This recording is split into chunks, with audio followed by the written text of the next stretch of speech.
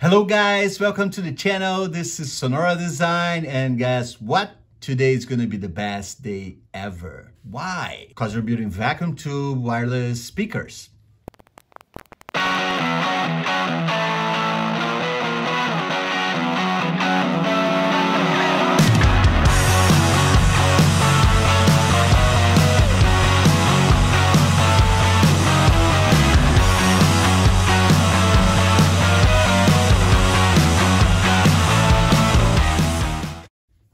Okay guys, so today I'm gonna talk about the Redondo speaker.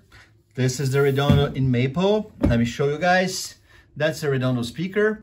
I'm gonna talk a little bit about the design and the ideas behind this speaker. So the name Redondo came after Redondo Beach in the South Bay, California. As you guys might know or not, Redondo means round. The speaker is not round, it's square, as you can see, but it has rounded edges and I love Redondo Beach. But the idea was to make a medium-sized speaker that would fit uh, your credenza in your living room, you know? So I used the standard size for those 1970s uh, receivers. You did, I mean, some people might still have them. I love them. We're gonna work on them here in this channel later. So as you guys know, I wanted to keep it simple and clean. I'm all about modern and I wanted a modern design.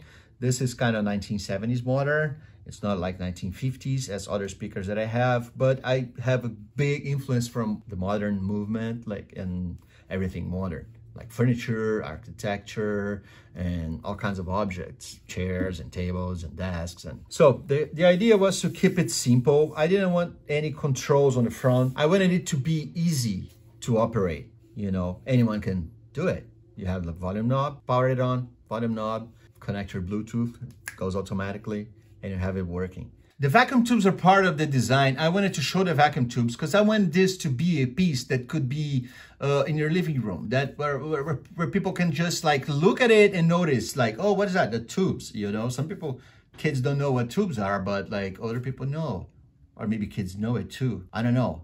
I wanted to show the tubes because they're badass. I wanted to keep it simple with a natural sound. So that's the idea of having tubes in a Bluetooth amplifier. Some people might think that's crazy because I mean, it can interfere, right? You get noises and all that. I mean, you gotta work with that.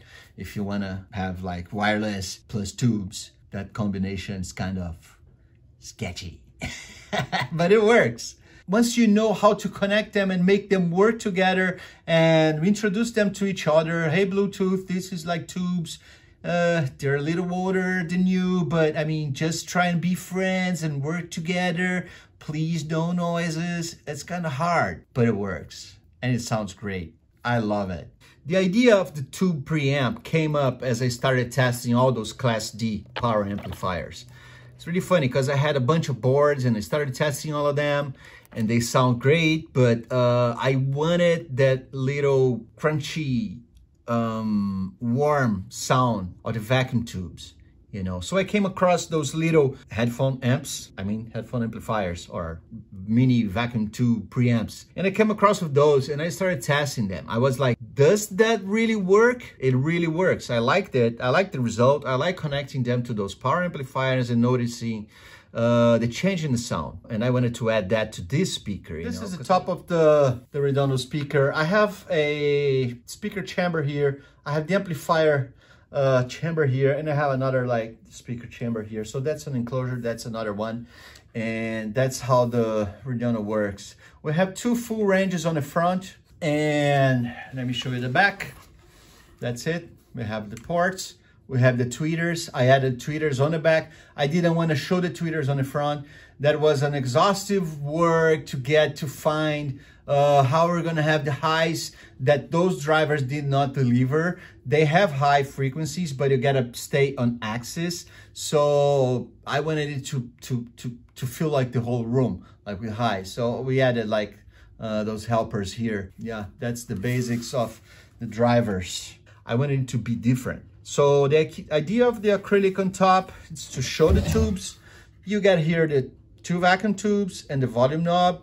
I took the volume knob from a Gibson guitar. This is a quick, it's called the quick knob from Gibson. So that, those are the only controls that show on top of the, the speaker.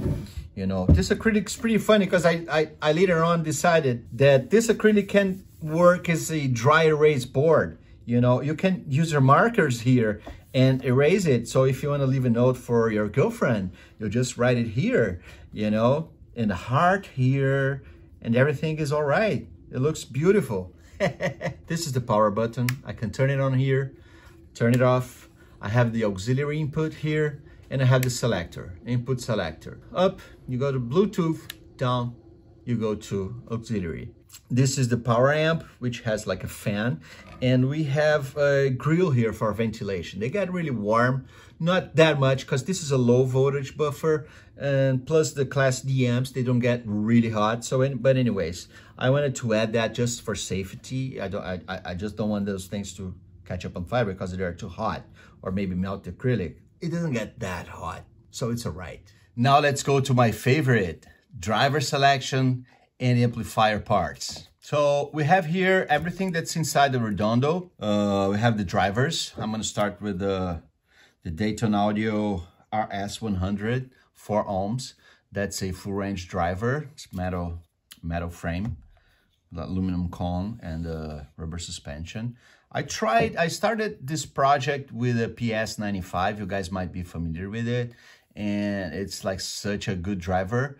I didn't even need the tweeters on the back because they have like a good amount of highs, but I needed more power and I wanted more bass. So I came across this one, the RS100. This one gave me all of that, but not the highs that I, I was looking for.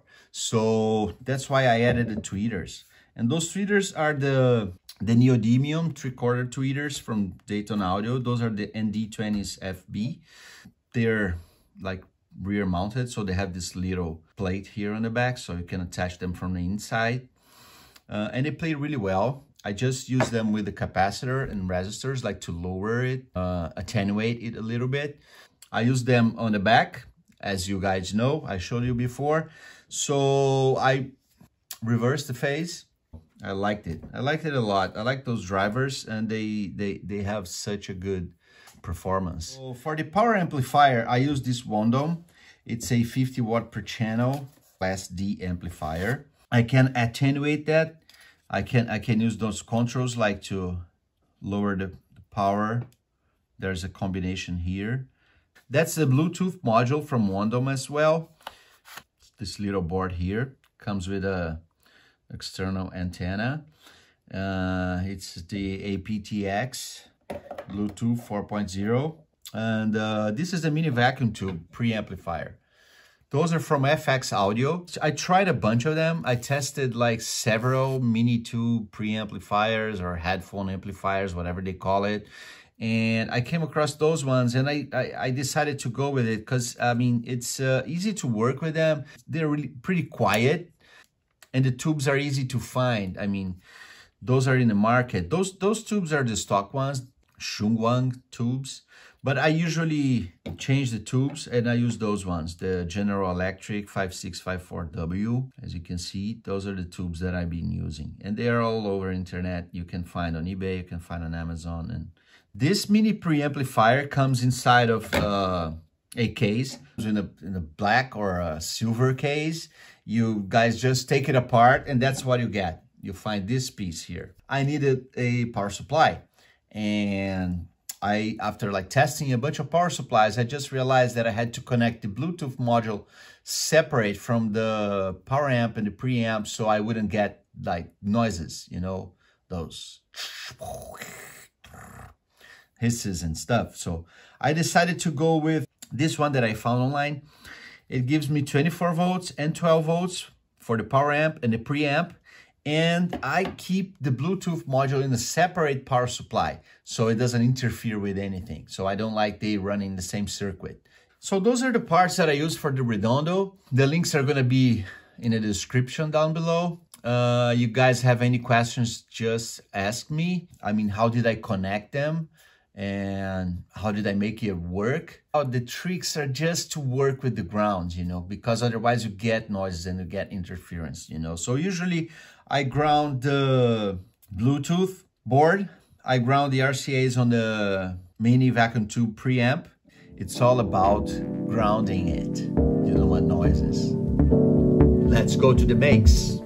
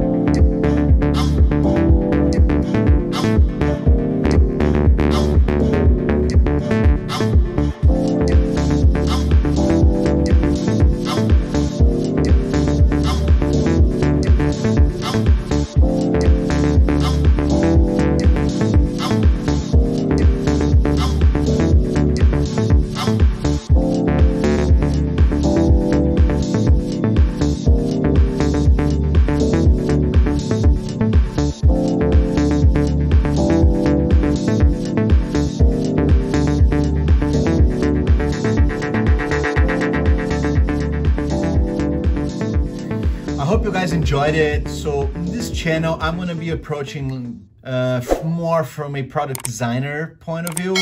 I can share the technicals if you guys want. Let me know here on the comments below what you guys want to learn or to see here in the channel, I would just ask you to smash the like button. I hope you guys enjoyed the video and hope to see you guys soon. Thanks.